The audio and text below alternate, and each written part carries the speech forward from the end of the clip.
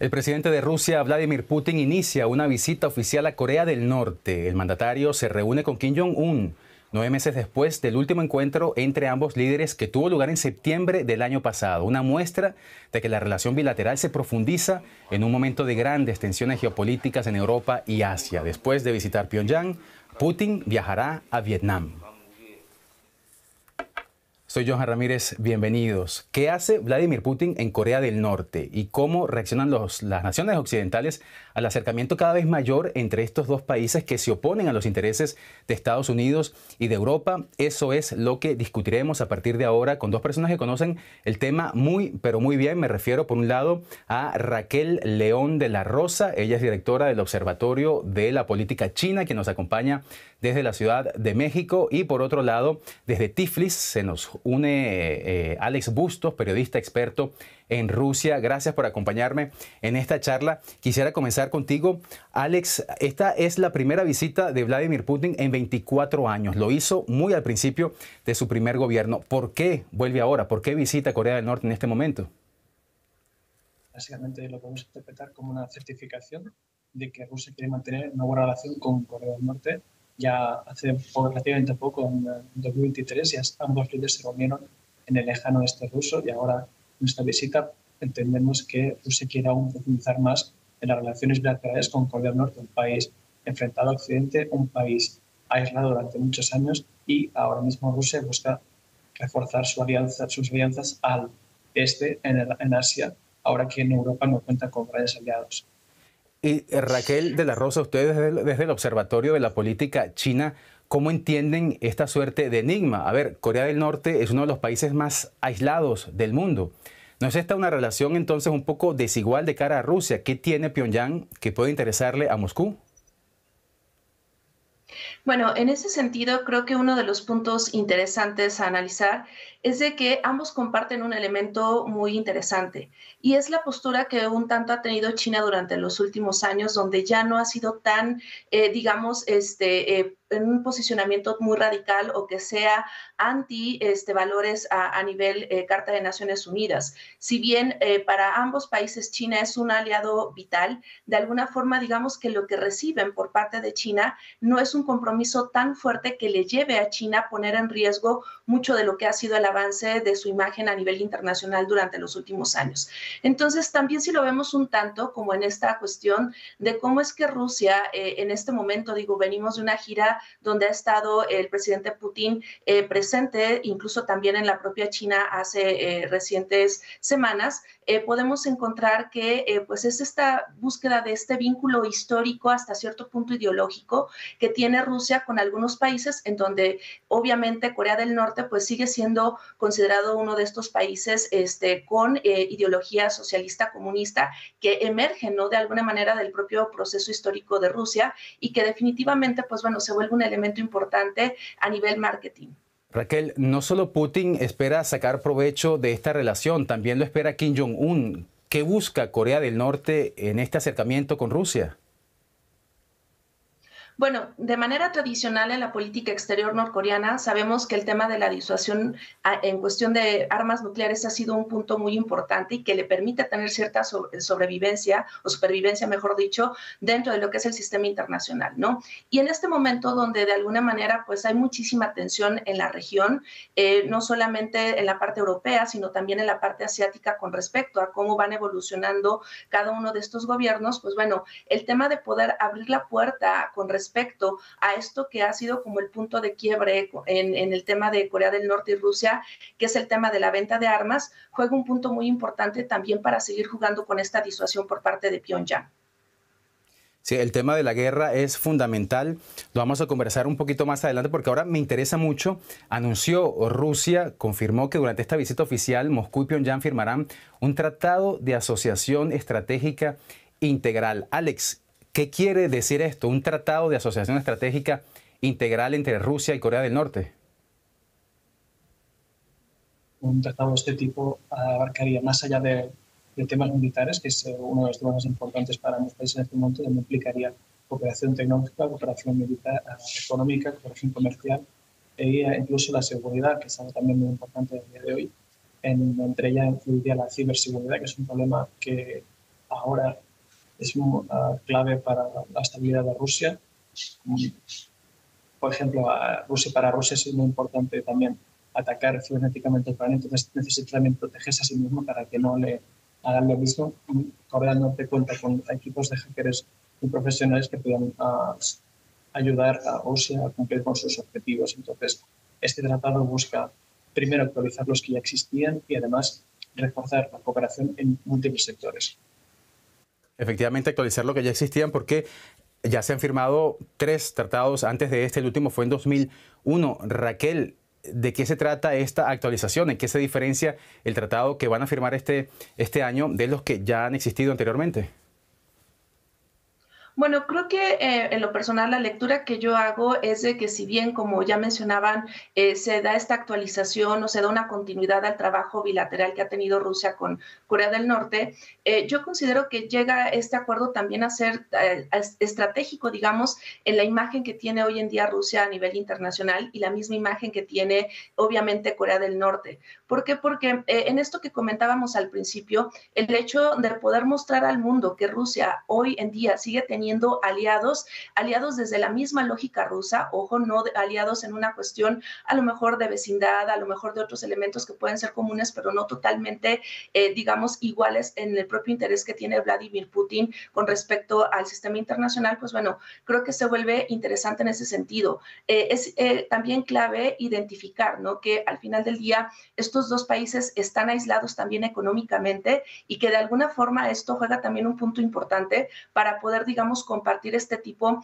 de este, eh, situaciones que hoy en día viven eh, debido ¿no? a su comportamiento a nivel seguridad dentro del sistema internacional. Hoy eh, Raquel y Alex Jens Stoltenberg, secretario general de la OTAN, comentó la visita de Putin a Corea del Norte. Vamos a escuchar lo que dijo y luego lo comentamos. Nuestra respuesta ha sido clara en todo momento. Se demuestra lo dependiente que es Rusia de otras potencias autoritarias, pero también que Rusia está violando los acuerdos del Consejo de Seguridad de la ONU de no apoyar los programas nucleares y de misiles de Corea del Norte. Esto demuestra que la seguridad no es regional, lo que ocurre en Ucrania, en Europa, es importante para Asia y lo que ocurre en Asia es importante para Europa. Raquel, a pesar de estas palabras de Stoltenberg, ayer el vocero de Seguridad Nacional de Estados Unidos parecía no darle mucha importancia a esta visita. Decía que no estaban preocupados por la visita. ¿Debería eh, preocuparse más Estados Unidos? Bueno, hay que entender que en el caso de Estados Unidos eh, viven ahorita un momento político a nivel interno muy importante y que obviamente eh, este tipo de, dinámicas este, a nivel internacional también tienen cierto impacto. No es que lo hagan, digamos, menos esta situación. Hay que recordar que Estados Unidos desde el año pasado ha sido muy eh, fuerte la postura que ha tenido con respecto al tema de venta de armas e incluso es su propia inteligencia la que determina, ¿no? Que dentro de la guerra en Ucrania son armas norcoreanas las que han estado siendo utilizadas ¿no? En ese sentido, no es que lo menosprecien, sin embargo, hay que entender también la lógica geopolítica que tiene Estados Unidos, en la cual, pues bueno, eh, es interesante porque a lo mejor esta noticia eh, desde este lado del mundo no tuvo tanto impacto como a lo mejor se esperaría en, otros, este, eh, en, otras latitudes, pero por ejemplo, tuvimos hace días la llegada de algunos buques este, submarinos petroleros en, a, rusos a, este, a Cuba y que esto sí generó, digamos, como un estado, estado de alerta muy interesante dentro de Estados Unidos y que tiene que ver obviamente con la proximidad, ¿no? Se hizo muchísima especulación con respecto a que si estábamos viviendo un nuevo momento de la Guerra Fría o que simplemente eran ejercicios que muchos países en cuestiones de cooperación militar realizan, ¿no? Entonces, creo que en ese sentido hay elementos que a lo mejor pueden ser más eh, inmediatos o de urgencia para Estados Unidos por el contexto que hoy en, vive, hoy en día vive y que de alguna forma, pues, esto determina muchísimo el grado de, este, de preocupación que pueda tener Estados Unidos. Y, Corea del Norte y Rusia han asegurado también que es otro de los temas importantes de esta visita es que trabajarán juntos para superar el impacto de las sanciones occidentales que pesan sobre ellos. Raquel, ¿cómo podrán hacerlo?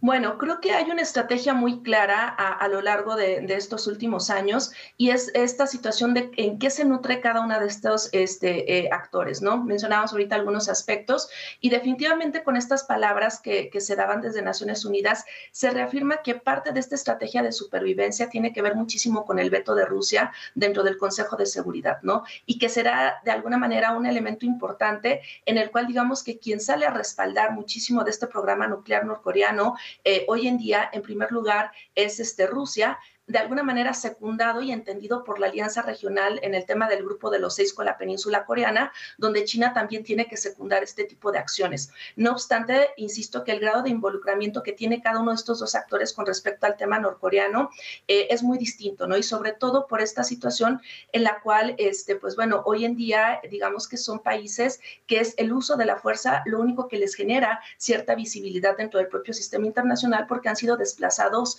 en muchos otros elementos importantes eh, dentro de lo que hoy en día es la, vida eh, dentro de los eh, actores estatales. Y tú mencionabas a, China, Raquel, y ese es uno de los actores claves de la región. ¿Cómo ve Pekín el, fortalecimiento de las relaciones entre, entre Pyongyang y Moscú? Hablamos de China, que es además uno de los principales aliados, si no el principal, de, de Rusia.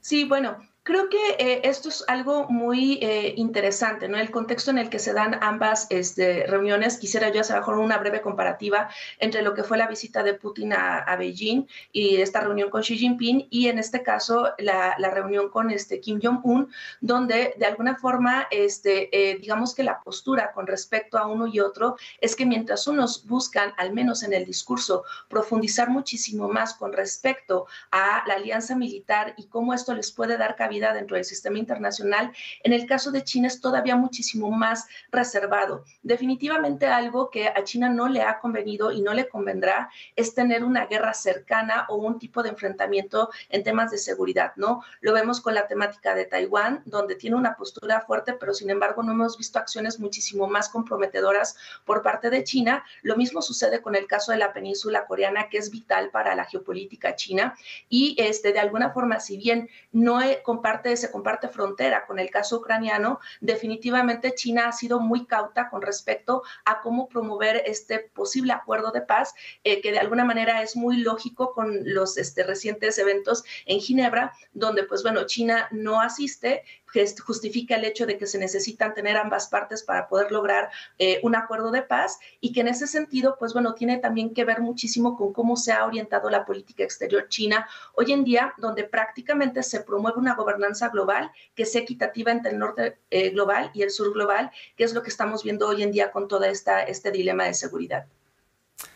Alex, y, hablábamos antes de eh, estos ejercicios eh, que mencionaba Raquel. Rusia ha anunciado que acaba de iniciar ejercicios navales en el Pacífico. Diez días van a durar estos simulacros y coinciden con la visita de Putin a Corea del Norte. ¿Es puro azar? ¿Sube esto la tensión en la región? ¿O es solo parte del simbolismo y la retórica de la geopolítica? Bueno, lo que hace para Rusia es eh, subir la tensión en la región. Ah, en el Pacífico tiene una región que es mucho más amigable para, para Rusia. Recordemos que en la parte atlántica Rusia está rodeada de países de la OTAN, por, Isla, por Noruega, Suecia, Finlandia, Estonia, Letonia, Lituania, Polonia.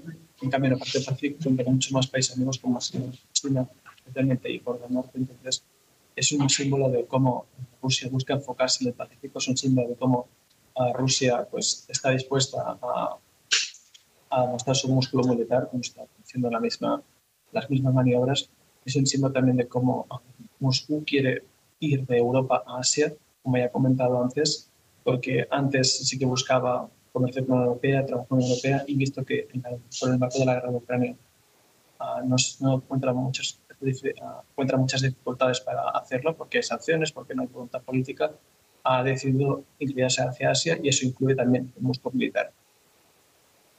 Eh, Vamos a escuchar ahora eh, o a, leerles, porque esto fue una declaración que dio hoy el ministro ucraniano de Asuntos Exteriores, Dimitro Kuleva, a propósito de esta visita. Esto lo dijo hoy el ministro de Exteriores, Dimitro Kuleva. El mejor modo de responder es continuar reforzando la coalición diplomática para una paz justa y duradera, y duradera en Ucrania y entregar más munición a Ucrania. Esto lo decía el ministro Kuleva en relación a la visita de, de, Vladimir Putin a Corea del Norte. Tú mencionabas esto de la guerra en Ucrania. Alex, es evidente que estas alianzas se fortalecen a raíz de la guerra. También es evidente qué es lo que busca, qué es lo que busca Rusia con esta visita, más aliados, necesita más aliados a nivel internacional, pero ¿cuál es el interés de Corea del Norte que tiene por qué Corea del Norte le interesa apoyar a Rusia en esta guerra? Bueno, Corea del Norte, además de vender armamento, vender diferentes tipos de misiles que uh, fortalecen las posiciones de Rusia, hemos comentado antes que pues, ha utilizado armamento norcoreano en Ucrania, a Corea del Norte le interesa tener un aliado más, porque como, como bien hemos contado, Corea del Norte es un país que está muy aislado, entonces necesita el apoyo de Rusia.